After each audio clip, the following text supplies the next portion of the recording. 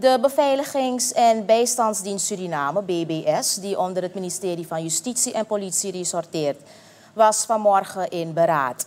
Dit bevestigde een der beveiligingsinspecteurs, Regilio Vrede, tegenover onze redactie. De bond is in actie omdat de door hun ingediende eisen nog steeds niet zijn behandeld door het ministerie. Vrede zegt dat een van de nadelen hiervan is dat diverse ontwikkelingen binnen het korps, zoals financiële waarderingen, bevorderingen en hulp en, en huldigingen, worden tegengehouden. Na een schrijven vanuit de officieren binnen het korps is er vanmorgen een gesprek gekomen met minister Kenneth Amoxie.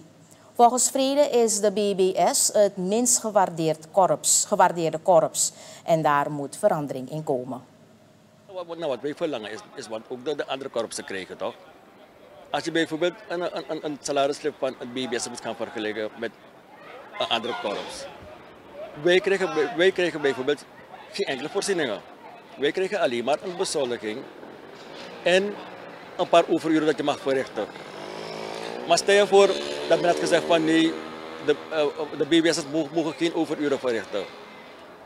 Ik bijvoorbeeld, een bezoldiging van 14.000 zoveel, toch, in deze tijd.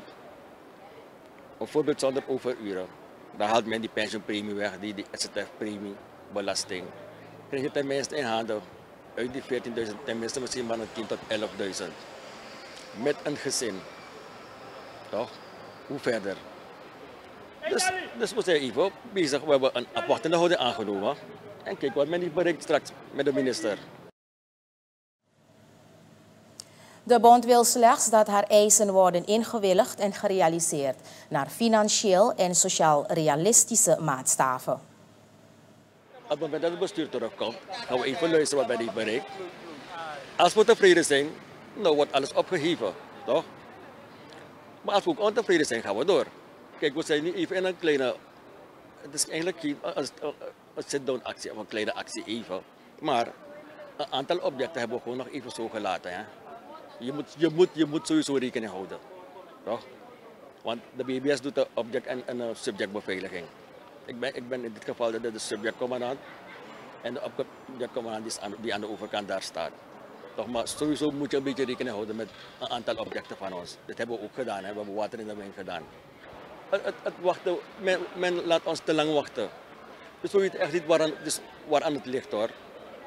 Maar als je naar het bestuur gaat, dan hoor je van uh, de zaken zijn ingediend, maar we moeten nog wachten.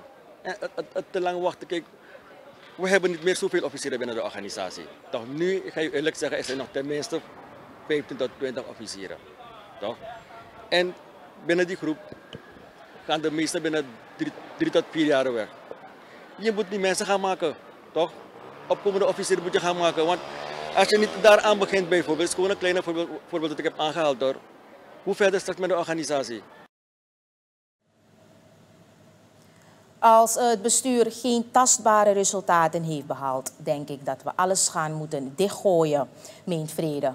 Onze redactie heeft getracht bondsvoorzitter Guillaume Coulor te spreken. Echter zegt hij nog niet in te willen gaan op het gesprek met minister Amoxie.